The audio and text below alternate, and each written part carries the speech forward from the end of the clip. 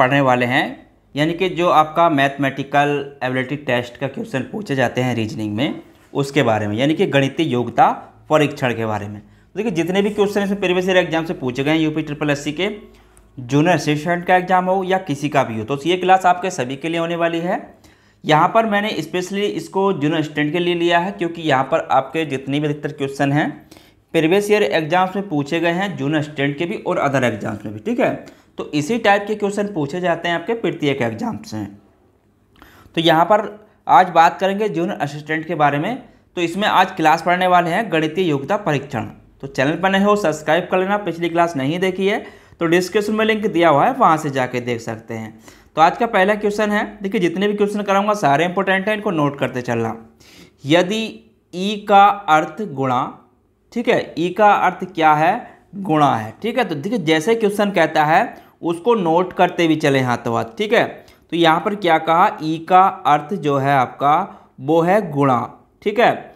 और एफ़ का अर्थ भाग है, ठीक है? एफ़ का अर्थ क्या कहा? भाग है। और जी का अर्थ प्लस है, ठीक है? जी का अर्थ क्या कहा? प्लस है। और एच का अर्थ जो है माइनस है, ठीक है? एच का अर्थ क्या है? माइनस है। तो यहाँ पर इस समीकरण का मान हमें बताना है। तो इस प्रकार के क्वेश्चन पूछ लिए जाते हैं। अब करना कुछ नहीं है, बस जो मान दिए हुए हैं, उसको यहाँ पर रख देना है, ठीक है? देखिए जी का मान यहाँ पर जी का मान कितना बताया? यानी कि जी को प्लस कहा तो यहाँ पर प्लस रख देंगे, ठीक है? तो देखिए, इसको जैसे जैसे कहता है, वैसे वैसे नोट करते चलें, ठीक है? तो जी को प्लस कहा ऐप को क्या कहा?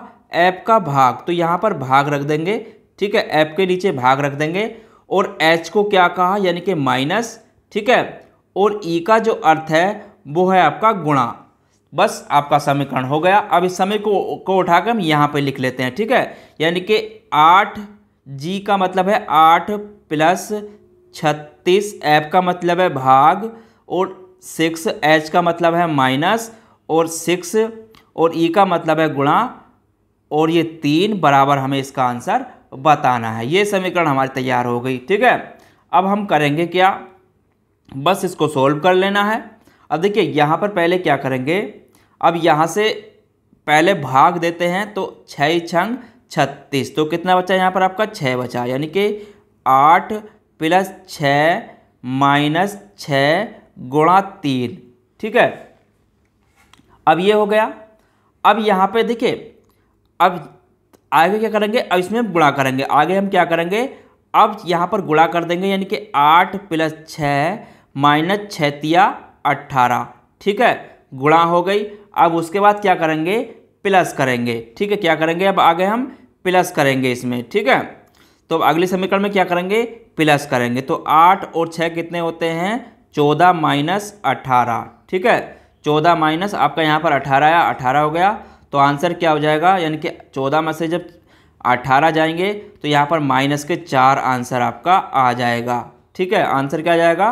माइनस के चार आपका आंसर यहाँ पर आ जाएगा। तो इस प्रकार भी क्वेश्चन पूछ लेता है। आपको ध्यान रखना है, क्वेश्चन क्या कह रहा है, उसी के अनुसार आपको उसको सोल्व करना है। तो पहले क्वेश्चन को समझिए, फिर उसको करिए, ठीक है? तो क्वेश्चन को, चाहे आपका थोड़ा टाइम लग जाए, लेकिन क्वेश्चन को समझने के बाद इसको सोल्व करें, ठीक है? तो चलिए फिर चलते हैं अगले क्वेश्चन पर। तो चैनल पर नए हो, सब्सक्राइब ज़रूर कर लेना। देखिए, क्वेश्चन है अगला, यहाँ पर अगर बात करें निम्नलिखित समीकरण में दो चिन्ह का आपस में बदल दिया गया है।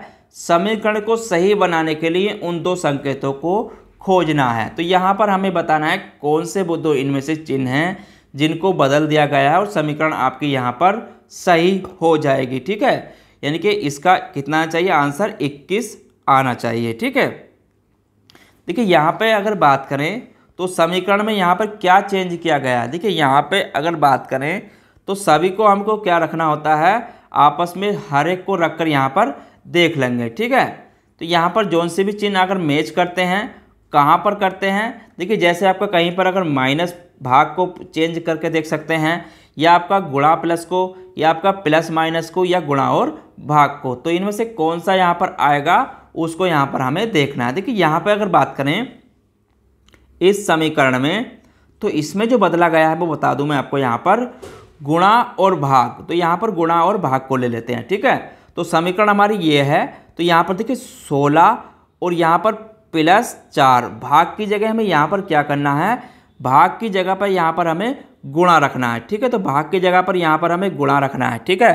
तो यहाँ पर चार गुणा, अब माइनस दो, ठीक है? माइनस गुणा गुणा दो माइनस इक्कीस, ठीक है? गुणा दो माइनस इक्कीस। और भाग की जगह यहाँ पर हमें क्या गुणा की जगह यहाँ पर भाग कर देनी है, ठीक है? तो यहाँ पर भाग रख देंगे तो आंसर हमारा 21 आ जाएगा। अब किस प्रकार से आएगा? देखिए, अब इसको देखें नीचे तो यहाँ पर सबसे पहले क्या करेंगे?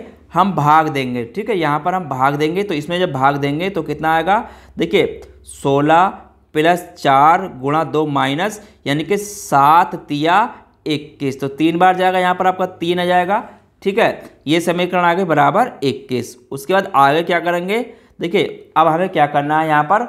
अब गुणा करनी है, ठीक है? अब क्या करेंगे? गुणा करेंगे। तो इसमें गुणा करेंगे, ठीक है? तो सोलह प्लस चार दूनी आठ माइनस तीन बराबर इक्कीस, ठीक है? अब क्या करेंगे हम यहाँ पर?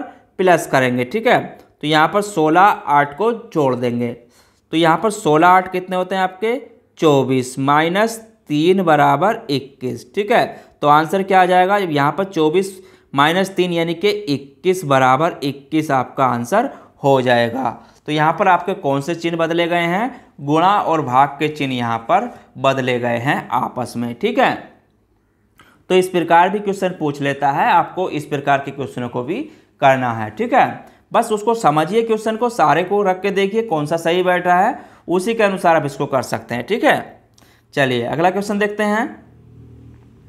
समान पैटर्न का अनुसरण करते हुए दी गई श्रृंखला में लुप्त संख्या ज्ञात करनी है, ठीक है? देखिए, यहाँ पर लुप्त संख्या हमें ज्ञात करनी है तो किस प्रकार दिया है वो हमें यहाँ पर देखना है। देखिए, यहाँ पर अगर देखेंगे, एक सौ अट्ठानवे, दो सौ दो सौ तीन, दो सौ आठ, दो सौ पंद्रह, दो सौ छब्बीस, दो सौ उनतालीस तो हमें यहाँ पर बताना है क्या आएगा। तो ये किस प्रकार से हुआ है? पहले तो उसको देख लेते हैं। देखिए, यहाँ पर दो सौ अट्ठानवे तो यहाँ पर अंतर कितने का है? देखिए, यहाँ पर अगर देखेंगे तो यानी कि प्लस दो हुए तो आपके दो सौ हो गए। यहाँ पर देखेंगे 200 203 यानी कि प्लस तीन हुए। यहाँ पर 203 प्लस 205 यानी कि प्लस यहाँ पर आपके पाँच हुए। और यहाँ पर 208 215 यानी कि प्लस आपके सात हुए। यहाँ पर 215 226 यानी कि प्लस आपके ग्यारह हुए। ठीक है? यानी कि सात ग्यारह हो गए प्लस, उसके बाद यहाँ पर देखेंगे 226 यानी कि प्लस यहाँ पर तेरह हुए, ठीक है? उसके बाद यहाँ पर, अब ये किस प्रकार से हुए? देखिए, यहाँ पर हुआ क्या है? तो यहाँ पर हो क्या रहा है? तो यहाँ पर एक चीज़ देखेंगे आप। तो यहाँ पर दो, तीन, पाँच, सात, ग्यारह, तेरह। तो यहाँ पर लॉजिक जो बन रहा है, वो यहाँ पर अभाज्य संख्याओं को जोड़ते चले गए हैं, ठीक है? यहाँ पर क्या कर रहे हैं? अभाज्य संख्याओं को जोड़ा गया है, ठीक है? तो यहाँ पर अब तेरह के बाद अभाज्य संख्या क्या आएगी आपकी? यानी कि प्लस सत्रह होना चाहिए, ठीक है? क्या होना चाहिए? प्लस सत्रह होना चाहिए, ठीक है? तो यहाँ पर जब प्लस सत्रह जोड़ेंगे दो सौ उनतालीस और प्लस सत्रह तो आपका दो सौ छप्पन आ जाएगा, ठीक है? क्या आएगा? दो सौ छप्पन आपका आंसर आ जाएगा। तो इस प्रकार भी क्वेश्चन दे देता है, आपको समझना है, जब उसको करना है, ठीक है? चलिए, अगला क्वेश्चन देखते हैं। यदि x का 30 प्रतिशत बराबर 120 हो तो x का मान हमें बताना है, ठीक है? तो x का मान यहाँ पर हमें बताना है। देखिए, उन्होंने क्या कहा? x तो x को क्या लिखेंगे? देखिए, x और गुणा, ठीक है? x और आपका गुणा को क्या लिखा? इन्होंने कहा है तीस बटे सौ करेंगे, ठीक है? बराबर एक सौ बीस, ठीक है? तो ऐसे ही तो लिखेंगे। तो ये आपका एक्स गुणा तीस बटे सौ बराबर एक सौ बीस तो एक्स बराबर यहाँ पर क्या हो जाएगा? देखिए तो एक्स की अगर यहाँ पे बात करें तो यहाँ पर 120 को अगर काट दें, यानी कि चार बार, ठीक है? अब चार बार कट गया, अब x बराबर क्या आ जाएगा? यानी कि सौ की सौ गुणा चार हो जाएगा। ठीक है? तो x बराबर क्या आ जाएगा आपका? चार सौ आंसर आ जाएगा। ठीक है? तो x बराबर क्या हो जाएगा यहाँ पर? 400 आंसर हो जाएगा। ठीक है? तो इस प्रकार भी क्वेश्चन पूछ लेता है और ये लोअर मेंस के एग्ज़ाम्स में पूछा गया क्वेश्चन है। ठीक है? चलिए, अगला क्वेश्चन देखते हैं। मिलन ने एक रुपए में दस टॉफी खरीदी। पच्चीस प्रतिशत लाभ के लिए उसने कित, एक रुपये में कितनी बेचनी चाहिए? तो एक रुपये में दस टॉफी खरीदी, पच्चीस प्रतिशत लाभ के लिए उसे एक रुपये में कितनी बेचनी चाहिए? ठीक है? देखिए, उसने क्या किया? एक रुपये में कितनी खरीदी? दस। ठीक है? तो एक रुपये में कितनी खरीदी यहाँ पर? दस खरीदी। अब पच्चीस प्रतिशत का उसे लाभ लेना है। ठीक है? पच्चीस प्रतिशत का लाभ लेना है तो मिलन को एक रुपये में बेची गई टोपी, यानी कि एक रुपये में बेची गई टोपी। तो कितनी बेचेगा? यहाँ पर बात वही करने वाले हैं, ठीक है? एक रुपये में बेची गई टोपी। तो यहाँ पर देखिए तो एक रुपये में क्या बेचेगा? यानी कि दस खरीदी तो गुणा कितना हो जाएगा? उसे पच्चीस प्रतिशत का लाभ चाहिए, ठीक है? तो यहाँ पर लाभ के लिए क्या करेंगे? यानी कि सौ वटे, यानी कि प्लस, यानी कि एक सौ पच्चीस हो जाएगा, ठीक है?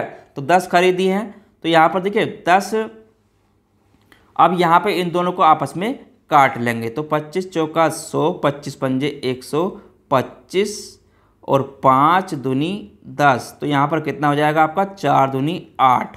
ठीक है तो आठ यहाँ पर आंसर आ जाएगा। यानी कि उसे एक रुपये में कितनी बेचनी चाहिए? तो एक रुपये में उसे आठ टोपी बेचनी चाहिए। ठीक है तो एक रुपये में उसे आठ टोपी बेचनी चाहिए तो उसे जब पच्चीस प्रतिशत का लाभ प्राप्त होगा। ठीक है? चलिए, अगला क्वेश्चन देखते हैं। देखिए, जितने भी क्वेश्चन है, सारे मोस्ट हैं, इनको नोट करते चलना और मैं आपको स्पीड के साथ क्यों कराता हूँ, ताकि आपका टाइम कम लगे। ठीक है?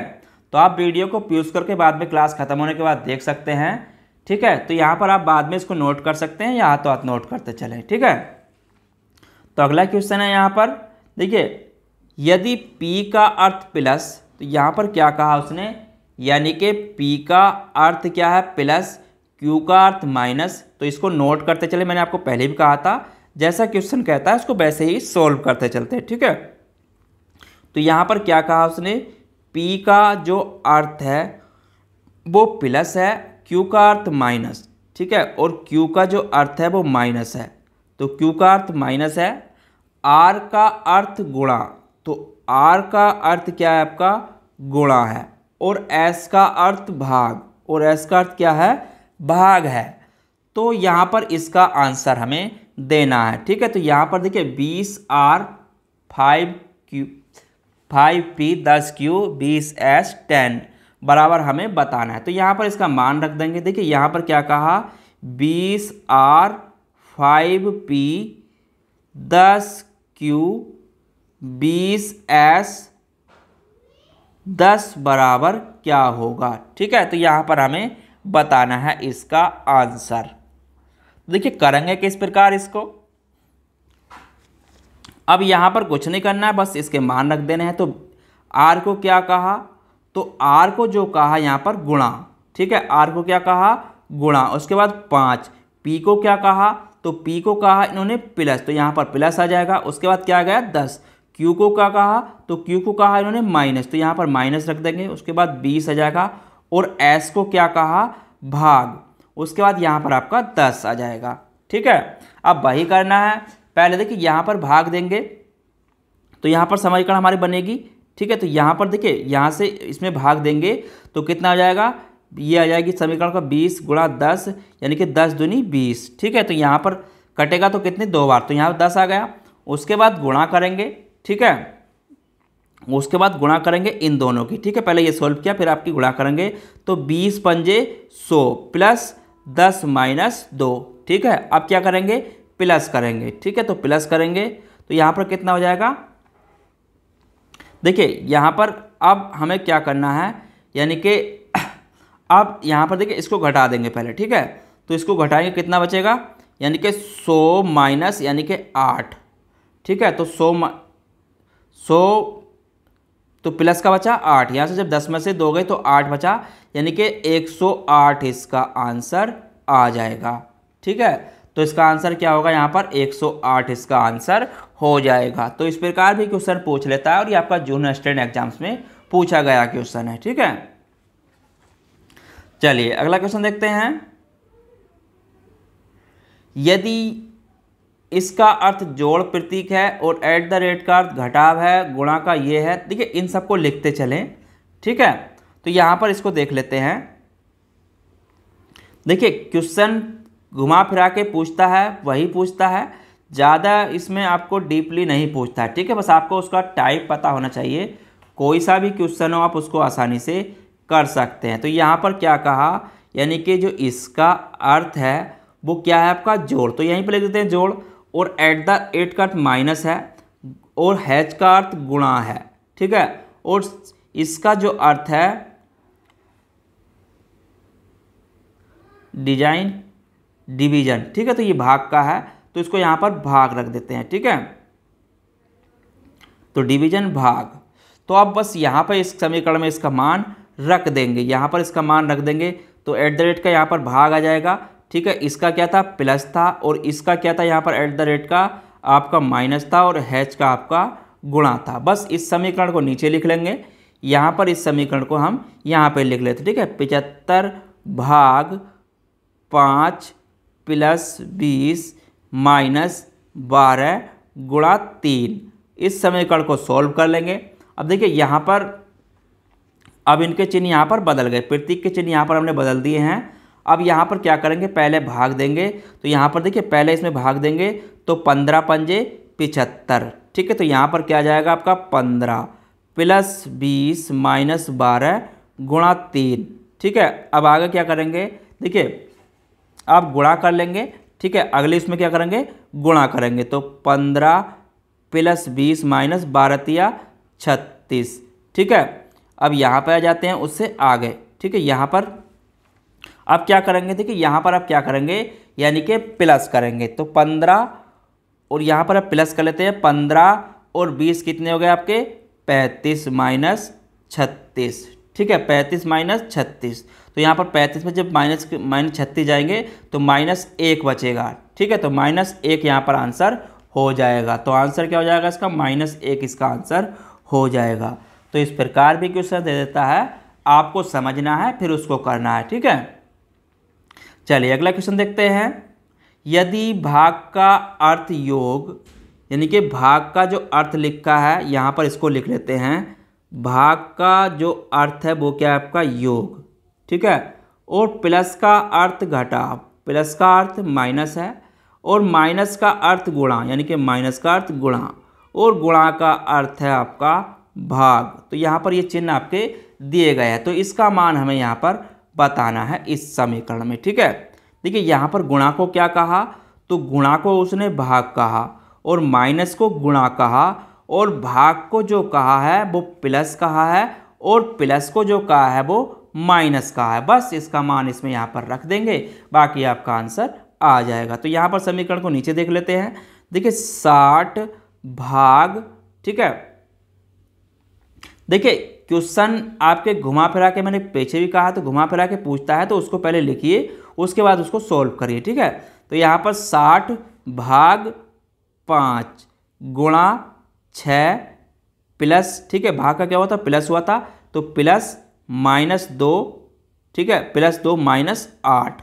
तो इसमें इसको सॉल्व करेंगे, ठीक है? तो यहाँ पर सबसे पहले भाग देंगे तो भाग कितनी बार जाएगी? बारह पंजे साठ, यानी कि बारह गुणा छः प्लस दो माइनस आठ। अब इसमें गुणा करेंगे, ठीक है? यानी कि बारह छंग बहत्तर प्लस दो माइनस आठ, ठीक है? अब यहाँ पर प्लस करेंगे तो यहाँ पर कितना हो जाएगा?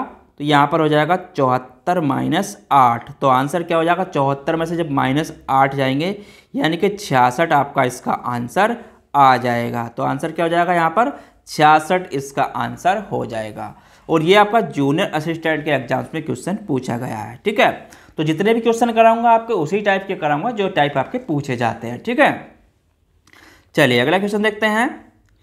यदि हम प्लस को भाग, देखिए, यहाँ पर क्या कहा? यदि प्लस को भाग, ठीक है? यानी कि यहाँ पे रखते चलते हैं हाथों हाथ। प्लस को क्या कहा? सॉरी प्लस को माइनस कहा। भाग को गुणा तो यहाँ पर भाग को क्या करेंगे?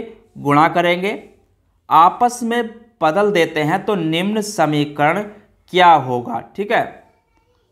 देखिए, इनको आपस में क्या करना है? बदल देना है। ठीक है? अब यहाँ पर यानी कि गुणा को, भाग को गुणा। अब भाग को गुणा करना है, सात आपस के साथ आपस में बदल देते हैं तो निम्न समीकरण का मान क्या होगा? ठीक है? देखिए, यहाँ पर अगर गुणा है तो यहाँ पर हमें इसको भाग करना होगा। ठीक है? इसको क्या करेंगे? भाग करेंगे। और जब प्लस जहाँ पर माइनस है, इसको प्लस करेंगे। ठीक है? क्योंकि इन चिन्हों को हमें प्लस को माइनस के साथ और भाग को गुणा के साथ बदलना है। तो इन चिन्हों को आपस में बदलेंगे तो समीकरण हमारी क्या बनी? यानी कि उनतालीस भाग तीन माइनस दस प्लस तेरह गुणा दो। ठीक है, ये समीकरण बनी। अब देखिए, यहाँ पर पहले भाग देंगे तो कितना आएगा? तेरह या उनतालीस, यानी कि तेरह, ठीक है? माइनस दस प्लस, यहाँ पर अब गुणा कर देते हैं, यानी कि छब्बीस। उसके बाद अब हमें प्लस करना है, ठीक है? क्या करना है? यहाँ पर देखिए, अब आगे करेंगे तो इसमें से जब इसमें से इसको घटाया तो कितना बचा यहाँ पर? आपका यानी कि तीन। प्लस छब्बीस यानी कि बराबर उनतीस इसका आंसर हो जाएगा। तो आंसर क्या आ जाएगा यहाँ पर आपका? उनतीस यहाँ पर आंसर हो जाएगा। ठीक है? चलिए, अगला क्वेश्चन देखते हैं।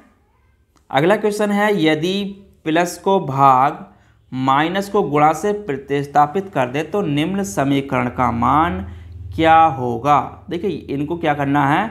आपस में बदल देना है। ठीक है? तो यहाँ पर आपस में जब बदलेंगे, देखिए, प्लस को क्या करना है? तो प्लस को भाग। तो प्लस को यहाँ पर भाग कर देंगे। ठीक है? प्लस को क्या करेंगे यहाँ पर? भाग कर देंगे। और भाग को हमें आपस में प्रस्तावित करना है। तो भाग को क्या करेंगे? प्लस कर देंगे। और गुणा को क्या करना है?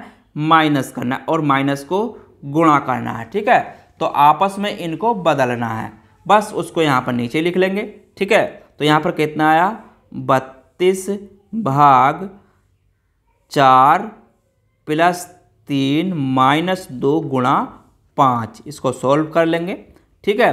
तो यहाँ पर बदलने के बाद इसको सॉल्व कर लेंगे, ठीक है? तो यहाँ पर पहले भाग देंगे तो कितना आएगा? चार अट्ठे बत्तीस प्लस तीन माइनस। अब यहाँ पर इसकी गुणा भी कर देते हैं, ठीक है? क्या कर देंगे? गुणा कर देंगे तो यहाँ पर आपका दस आ जाएगा। उसके बाद क्या होगा? देखिए, अब इनको जोड़ देते हैं, आठ और तीन ग्यारह माइनस दस ठीक है? बराबर कितने जाएगा? ग्यारह में से एक गए, दस गए, माइनस, यानी कि एक आंसर यहाँ पर आपका आ जाएगा। तो आंसर क्या हो जाएगा? यहाँ पर एक आपका आंसर हो जाएगा। ठीक है? तो इस प्रकार क्वेश्चन दे देता है, आपको समझना है, फिर उसको कर लेना है आसानी पूर्वक ठीक है? चलिए, अगला क्वेश्चन देखते हैं। और ये आज के टॉपिक का लास्ट क्वेश्चन है इसमें मैं कल कराऊँगा इसके टॉपिक में ही। ठीक है? तो आज के टॉपिक में इतना ही करा देंगे, इसमें मैं आपको कल कराऊँगा जो क्वेश्चन आपके और पूछे जाते हैं। ठीक है? तो यहाँ पर देख लेते हैं इस क्वेश्चन को भी। देखिए, यहाँ पर अगर बात करें, कुछ समीकरण एक विशेष प्रणाली के आधार पर हल किए गए हैं। उसी आधार पर अनुत्तरित समीकरण का सही उत्तर ज्ञात कीजिए। देखिए, क्वेश्चन में कुछ नहीं है। करना क्या है? यहाँ पर देखेंगे आप एक चीज़। तो यहाँ पर पाँच प्लस सात प्लस दो को इन्होंने लिखा है सात सौ पच्चीस और यहाँ पर छः प्लस नौ प्लस ज़ीरो को लिखा है नौ सौ छः और यहाँ पर आठ प्लस चार तीन को हमें बताना है क्या होगा। ठीक है? देखिए, यहाँ पर हुआ किस प्रकार है? देखिए, यहाँ पर हुआ किस प्रकार है? एक चीज़ देखेंगे। तो यहाँ पर जो आपका पहला, दूसरा, तीसरा। अब इन्होंने इसको क्रम पे कैसे लिखा है? देखिए, जो पहले नंबर पर था तो उसको इन्होंने लास्ट में लिख दिया है। ठीक है? अब इन दोनों के स्थान इन्होंने चेंज किए हैं इधर और इसको पुचा दिया है इधर। ठीक है? अब इन दोनों को तो आपस में चेंज किए हैं इन्होंने। इन दोनों के स्थान तो आपस में चेंज होंगे ही, ठीक है? और लेकिन इसको जो दूसरे पर था, उसको पहले नंबर पर रख दिया। देखिए, इसको इस तरीके समझ सकते हैं। तो यहाँ पर, यानी कि जो कोड बना है, अब इसको यहाँ पर अगर कोड को देखें तो सात दो नंबर पर था, और यहाँ पर दो जो है, तीसरे नंबर पर है, और पाँच हमारा पहले नंबर पर है। ठीक है? जो 123 है, उसको 231 लिख दिया है इन्होंने। ठीक है तो उसी प्रकार से यहाँ पर लिखा गया है। देखिए, यहाँ पर एक, दो, तीन। अब उसी प्रकार से अगर इसको यहाँ पर 231 करें, यानी कि टू, थ्री, वन। ठीक है तो इस प्रकार से आपका यही आंसर। ठीक है तो यहाँ पर भी बैठ रहा है। तो उसी प्रकार से हम देखिए, यहाँ पर एक, दो, तीन। तो एक, दो, तीन। इसको क्या करेंगे? दो सौ इकतीस। ठीक है तो दो नंबर पर क्या है यहाँ पर हमारा? दो नंबर पर चार है। ठीक है, तीन नंबर पर क्या है? तीन है। और एक नंबर पर क्या है? आठ है। तो आंसर क्या हो जाएगा? यानी कि चार सौ अड़तीस हमारा आंसर हो जाएगा। ठीक है, चार सौ अड़तीस हमारा आंसर हो जाएगा।